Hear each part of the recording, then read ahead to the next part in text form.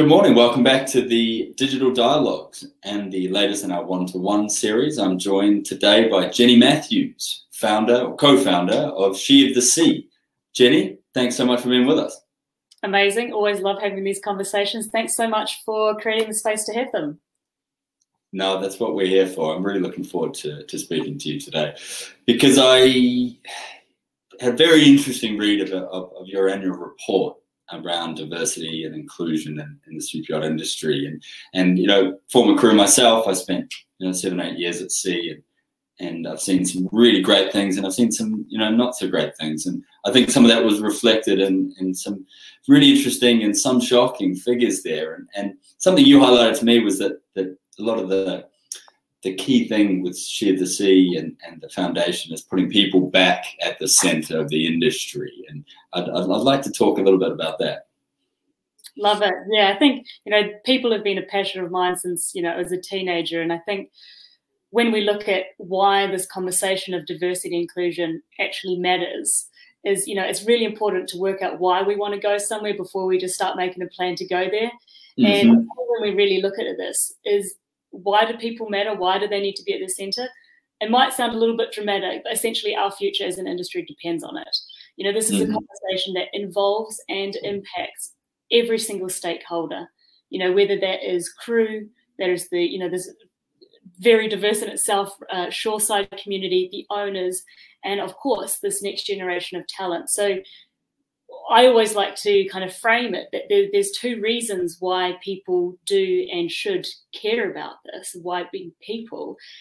And you know, one is becoming more and more prevalent now, this, and that is the moral and ethical reason. You know, do we as an industry want to work in an environment that has, you know, discriminatory practices, uh, a very undiverse uh, workplace, and uh, you know, a churning of talent, this real like leak of knowledge. Mm -hmm. And what we're seeing with people engaging uh, with our platform and in the wider conversations that in the world, uh, the answer is becoming increasingly no. You know, and that is because you know either people are themselves previously excluded demographics in terms of genders, race, or orientations, or they have a loved one. You know, we see a lot mm-hmm. of um, men really, you know, involved with what we're doing because they've got daughters and they know the industry and they want them to work in it because who wouldn't? It's amazing, and they want it to be better for their daughters. So those are that's one major reason. Mm-hmm. And the other one is becoming is completely data backed and also is even more universal is that our ability to perform and achieve our goals is 100% dependent on the team who's on the tools and the environment in which they're working on. And that doesn't mm-hmm. matter whether your goal is you know, uh, commercially focused, whether you're a business or you want to build the most fantastic yachts or, or if it's more impact focused, let's look at, you know, Rev Ocean or the mm-hmm. Water Revolution Foundation. These are some of the biggest issues facing our, our world. If we're not focusing on who's in the team and how they can operate, how on earth are we going to reach our goals? So can't really argue with that one. and that's why this is so exciting. It's such an easy, it's such a kind of a, an obvious uh, conversation, and that's why I have so much fun talking about it. Yeah, and I, I think there's that perception that that you know I find frustrating um, that the the team on board and the prejudices on board and the discriminatory practices in hiring and and is is an old thing. It's old school. And to one hand, uh, on one hand, it is a little ossified in the past, but on the other hand, you still do see it, and and, and it is it is really unfortunate. And I think there's a, as you have highlighted, there's a big you know cost you know trade off there, and in not recruiting the best talent and not having the best people on board, and we really have to break that mold, and it kind of starts early on, doesn't it? Yeah, and I think I always like to, you know, we can all get really excited about these things and be like, it's so obvious. Like, let's let's let's, mm-hmm. let's change now. But I think we also have to put in context, you know, the maritime industry. It's you know arguably one of the oldest industries in the world. Uh, you know, mm-hmm. with a lot of history, and mm-hmm. also the context of our industry itself. You know, like I've got friends who've been in the industry since you know as much of day one as there could be. And they're laughing. They're like, it's so funny that we call ourselves an industry. You know, that this growth is fairly recent for us. So we're still working out what a professional industry looks like for us. And it's very mm-hmm. landscape. So we are. I mean, you guys already shared my. Uh, uh, anecdote, you know, the, that we're this awkward teenager. So we are in our growth phase, but it's important that we set the groundwork now as opposed to try and unpick it in two, uh, 10 years, 20 years when it's too late. You know, we've already, we're already suffering for, for our inaction now. And does that involve perhaps detaching ourselves a little bit from that maritime history? Because sometimes I feel that we, we pick and choose the elements of maritime history and, and, and tradition that, that, that the super yacht industry would like to adapt. And, but in many ways, we're, we're a lot more dynamic. Mm. You mentioned things like Rev Ocean. We, we, we, we draw upon so many different areas that maybe we need our own kind of foundation that, that we build on. I love that. And I think, you know, what's really coming up for me when you share that is that, I mean, at, at, ashore, it's very, you know, like there there's a, multiple industries within that, mm-hmm. industry, you know. But when we talk about the seafaring side, we're actually a hybrid. We are as much a service industry as we are a maritime industry. So we're already a mm-hmm. hybrid. And they're also fun. I mean, there's obviously the charter aspect to this. The goal of the yacht is more based on experience as opposed to profit and turnover. I mean, obviously that mm-hmm. element is there because there, there's money involved, but you know, the this is a very unique landscape. And I think the sooner that we are, you know, not afraid to do things differently, if that means doing them better, that's when mm-hmm.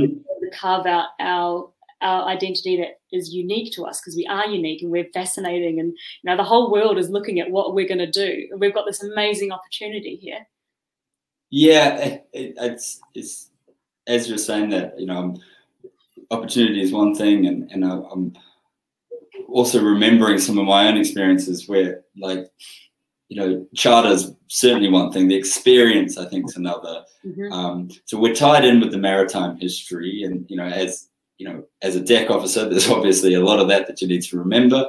Um, but across all aspects of, of, of, on board. But you know, sometimes in a charter, you'll spend, as you can attest to, I'm sure, you know, you spend some time driving the boat, then you spend some time uh, being a pretty full time carer for the boss's kids. Then you spend other time kind of setting up whole experiences for, for families. And these involve massively different skill sets, um, as well as, you know, driving a boat. So, you know, that's one aspect of it. But we really need diverse, you know, skilled, uniquely talented people to do this. And just kind of rehashing some of the older skills really, I don't think it's going to cut it. Yeah, absolutely. I think it is also worth, you know, if we're going to uh, acknowledge our our salty maritime roots, if we look at what's happening in the, you know, the traditionally commercial maritime industry, they they are. I mean, they're a lot bigger. I always, again, mm-hmm. I love a good analogy. you know, they are in an essence a huge tanker. They've got a huge turning circle. If they want to move how their industry operates, it's going to take a long time because they're so huge. They're so international but they have already been working on this for a long time. Diversity mm-hmm. inclusion, it's all through the IMO. You know, I mean, from all levels, big, small, maritime UK, in the US, all over the world has been doing this for a while now. We are behind the ball. Mm-hmm. But the advantage that we have is, like a super yacht, we don't have the turning circle like that. We are young, we are agile, we are so interconnected that we have an opportunity here. You know, we are behind the eight ball here, but we have the opportunity to make real change a lot quicker than these other larger industries. I like that analogy, definitely. Yeah, yeah we might. yeah, no, I think that's I think that's a really you know important point, um, and I think perhaps like your your report highlighted. Um, there's a need to perhaps start with recognition of the facts. You know, anecdotal evidence is one thing, saying, you know, I experience yachting in this way, or I experience, oh no, it's okay because I experience it in this way. Doesn't really work, you know. And if we want to be dynamic and, and make these decisions, it, it needs to be based on these are the facts. Yeah. We need to implement something. Absolutely. Data is essential for any meaningful change to be made. Uh, one of my favorite quotes, the Einstein quote, if you've got an hour to solve a problem, he'd spend 55 minutes defining the problem. So the solution would only take five minutes. So um, I really value the personal stories, the anecdotal. You know, these are the things that people connect with on an emotional level. They mm-hmm. first buy in and they also add the human element, you know, that human side to the conversation. but to really understand what the challenges are um, collectively as a system, as, a, as an ecosystem, to really understand those challenges and then define strategies that actively and you know dynamically address those challenges and then to be able to monitor report you know this is not just a tick box exercise. We need to have a system in place to create real change. And also my other favorite words transparency and accountability. It's one thing mm-hmm. to say that something's doing you're going to do something but to actually back that up is essential. You can't really have one without the other.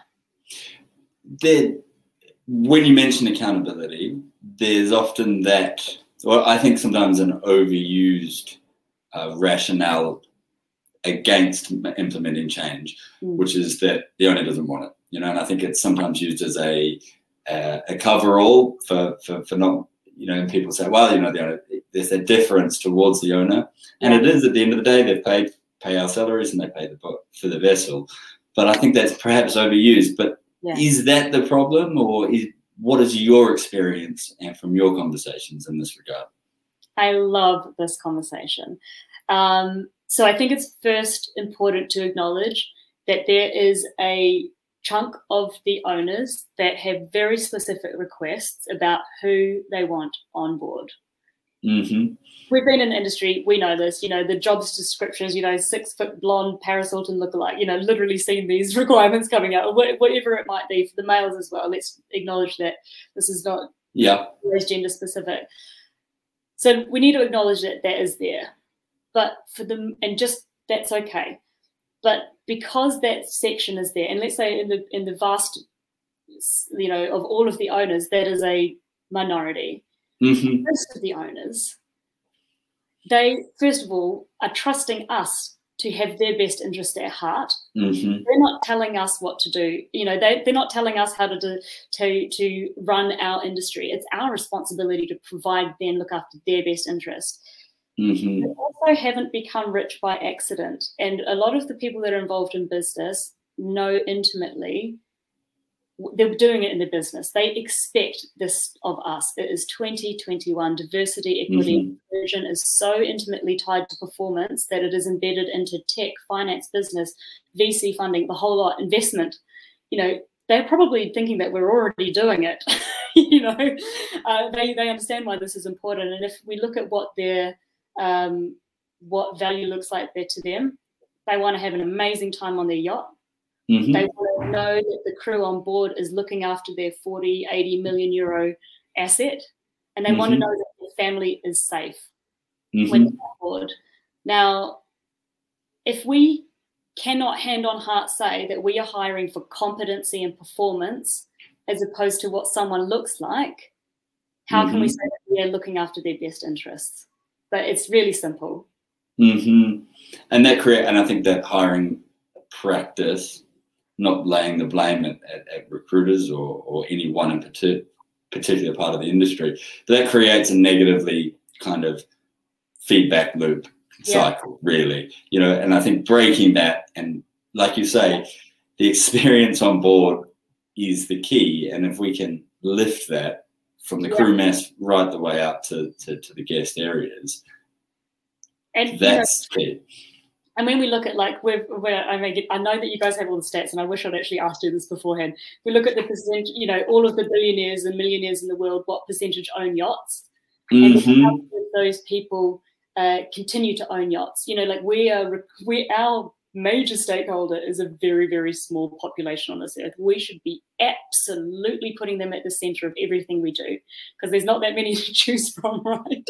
No, you're right, and but also the the the the next generation of owners is yeah. increasingly diverse. You know, yeah. and the you know we have a little a little a little system that's that's fed itself for, for a long time and very effectively. But it's a it is a niche. It's a sector of a sector. If, if we look at the full potential uh, for, for for ownership and, and use and engagement across the world. So really, unless we start you know developing these systems in a diverse way now, we're yeah. going to be behind the eight ball later on and you know it's as much about like capturing a bigger share of the market and it's also about like um, trying to keep the, the current owners wanting to have yachts i mean again i feel like this is probably data that you might have but how many yacht owners get sick of crew turnover, different faces on board, unnecessary damage, you know, avoidable, hugely expensive damage to their asset. You know, these things are all experience um, that we don't want them to have. Mm-hmm. to have love their boat, love the people, come on board, have amazing time, and then buy another boat in five years. You know, that's what mm-hmm. we want. Um, so, are we doing everything that we can to ensure that that experience is the one that they have? Mm-hmm. Yeah, and I think there's we're creating barriers ourselves. I think in many yeah. respects, you know, and I think if we if there's if we want to be treated as a like you say as a as a professional industry, if we mm. look at the rate of change across all industries at the moment, um, you really don't want to be left behind in this kind of accelerated, you know, catching up. And it's a catching up. It's still not back to where it should be. You know, it's not like we're the ones bounding ahead. Everyone's pretty much catching up to where they need to be, and, and we're even further behind in that respect. When you look at some of the facts, I mean, these are fairly well publicized figures, um, but you know, 97.9% of captains are men. You know, that's a figure that, that I mean, that's 1950s boardroom kind of stuff.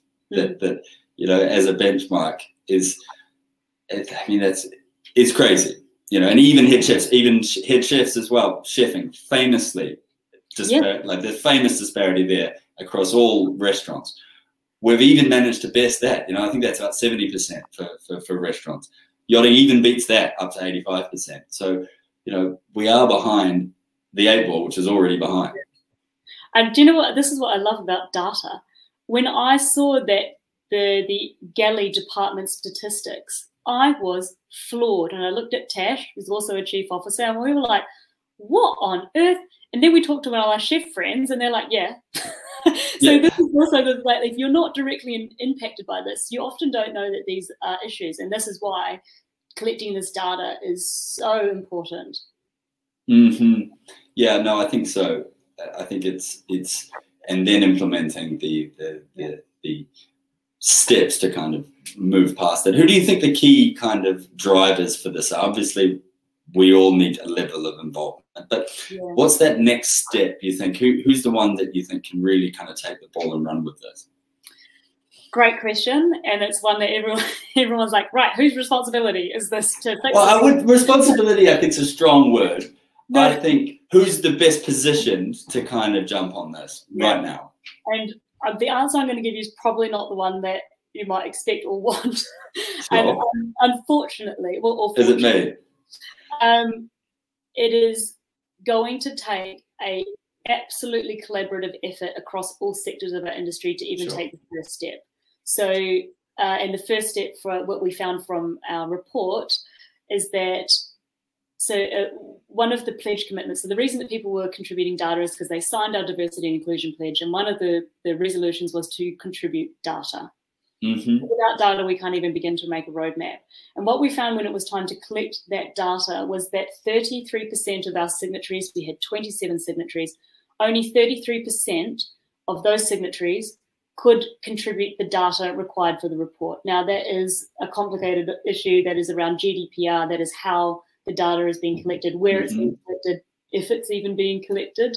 Mm-hmm. And what we found is that the data that we were able to collect only really looked at two genders. We could find, we weren't able to share any information about race, ethnicity, orientation, age, all of these things. So, our first step, our first milestone, is to get our industry, uh, you know, standard industry practice to collect and share data. Mm-hmm. Without that, we don't have a, a, you know a hope in hell.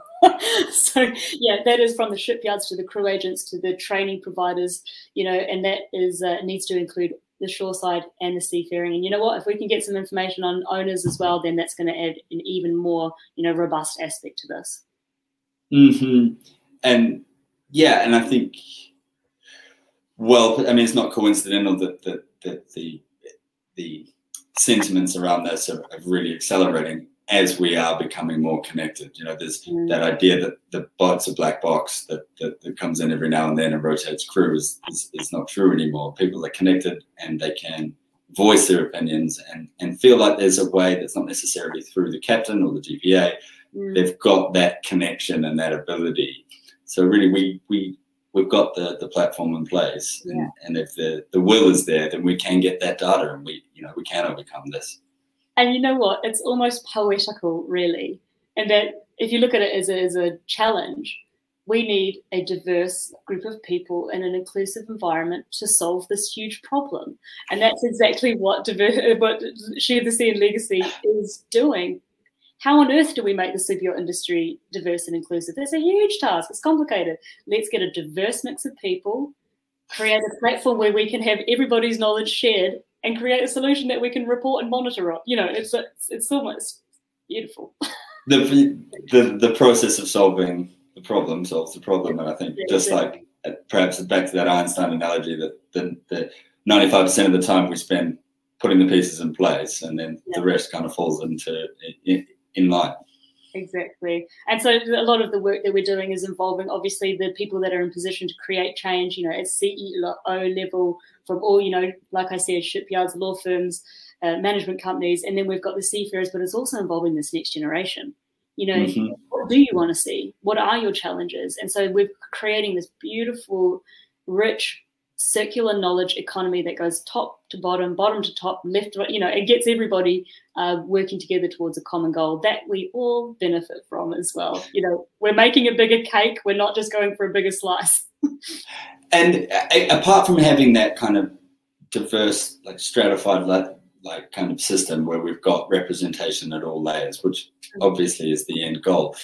Um, but what do you see perhaps between now and then? You know, in the short term, short to medium term, you know, what kind of system would like you like to see in place? For example, on board a yacht, um, in terms of how that communication might actually work, and and and what you see as those those next kind of steps and your ideal kind of situation. We talk about communication. We talk about perhaps having an app that you can report these things on. But what does that look like in the short term? Uh, really good question. I think because you've mentioned uh, on a vessel, shall I talk about a vessel? Yeah, that's use a vessel as a microcosm for the whole industry, shall we say? Yeah. Well, I think what's interesting about the vessels themselves is that the shoreside industry is really loving this. Like, there's so much engagement from there. On board the vessels, you've got to remember they're very isolated. You would have remembered um, your time on board. You know, Mm, you're not even really aware of what's happening in the broader thing. You might not. You might know about diversity and inclusion. You probably don't.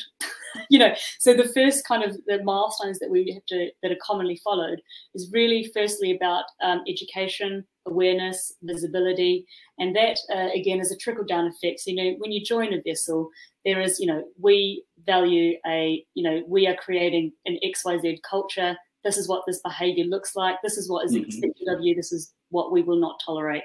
You know, and that's not just uh, kind of a tick box exercise, which it can be now. And that is instilled from the management company. The captain is aware and understands why it's important. you know, so it's not like, oh, we have to do this because I've been told to. That really that education about why it matters. yeah, not just that. I mean, I remember when I, yeah, everyone remembers their first day on board and Mm. you get given this pile of paperwork and it's almost expected that you're not going to read it. It's like, take the paperwork, have a flick through, sign an initial, and maybe one of those pages is about don't be, um, don't be a horrible person. Uh, and Yeah. you initial it and then you're away, you know, like, so what you're talking about is, you know, proper, um, you know, Yeah. and especially yellow young people coming and joining is actually sitting down and talking through this stuff and like a two-way engagement. like you know we've got a zero toler- a zero uh, tolerance policy on racism sexism Mhm. this is what is expected this is what's not these are the consequences you know a lot Mhm. of the reason that um, discriminatory behavior occurs is because there is absolutely no consequence for doing Mhm. it you know and to take that in a corporate setting you can imagine and you've probably seen it what happens at Oh, totally different. yeah. So it's a, it's this balance between policy and practice. That's how Mhm. is created. It's having the policies in place. It's having the practices that create the consequences and model. Mhm. behavior. So it's those, Mhm. those two kind of syner- synergistic aspects. and that feeds up, right? Like they, if you learn this earlier on, and also, I mean, this is making a generalization, but I think the next the next generation of people coming through Yeah. have a different tolerance than than even than even we did, without aging us particularly, but um, us with one level, and then the and then the captains before us are on another level. Yeah. And and uh, and but I noticed my young the younger generation below me, my nieces, my nephews, they expose so many of my, you know, un my like subliminal almost prejudices. And I think if that generation's coming through, they're not going to accept some of this stuff, oh. you know. And and we, we we will embarrass ourselves by not addressing it, and, and they're the ones that will lay the, the future platform. I mean, honestly, there's so many topics that we talk about, but that is such a huge one, and you were already seeing it. And this is where we are getting into a slippery slope here. There mm-hmm. are people already, you know, they've been in the industry for two years, and they're like, "Why on earth is this?" Like, it's it's not shock; it's more like confusion. Like, why is this happening? Mm. obviously, I'm not going to work in this environment because this is completely unacceptable. I'm going to go and take my talent and my passion and my innovation to another industry. And it's just, we've got this reverse filtering process happening now that the people that will stay will be the section of that next generation that are like going to tolerate pretty mm. discriminatory behavior. And it's like, do we want the bright minds of tomorrow that are forward thinking and going to be able to create the solutions and the experiences that will drive our industry? Or do we want the people that are just like yeah all right that sounds fun to me. Yeah it, it, what what tier do we want to be pulling our talent from? And those aren't the, and those aren't the people that will inspire the owners that will inspire the captains that will really move the industry forward. You know that's that's where we get stuck in the little negative status quo that I don't think anyone wants or needs. So that's our decision now: is uh, what talent will you know be the face of our industry in 10, 20 years. And we get to make that decision today. And I sincerely hope we make the right one because I shudder to think what the industry could look like if, if we don't. Again, without being dramatic. But no, but we need it. You know, yeah. that, yeah, there's no point in in in you know, skirting around the issue because it is existential, really. Uh, if we want to, you know, we, we, can move, we can chug along, but if we want to really move it forward, I think this is a massive part. And it, just as a little kind of finisher on that little topic, is that it is widely acknowledged and uh, becoming increasingly urgent conversation is that is maritime even an attractive career for the next generation? And this is the answer from the commercial world is we've got a real problem here. So it's the the seafaring shortage crisis, and there is a lot mm-hmm. of it now. And really, you know, this is part of the reason for diversity and inclusion is that if we want people to to run this industry and you know propel this industry, if we're only looking at a very very slim, let's be honest, in in, the, in certain roles, you know, like white male, if mm-hmm. we're only looking at this section of the talent pool as opposed to as wide as we can, we're really just doing ourselves a disfavor because we're, you know, we're just we're, we're only looking at this small section. So it's also another element to bring in. No, I think so. Well, Jenny, that's been a fantastic conversation. I've, I've really enjoyed that. And like you said, there were so many more topics that we could go down, and, and I hope we will in the future. But I think if anyone has has the time, I highly recommend reading the full She of the Sea report, which we will link to um, in the story accompanying this conversation because it makes for some vital, sometimes shocking reading, but uh, I think it's it's a really good way to get engaged with this, get engaged with Jenny and the team at Sea as well. So thanks again for being with us. Amazing conversation, and uh, we look forward to speaking again. Amazing. Thank you so much. Always a pleasure.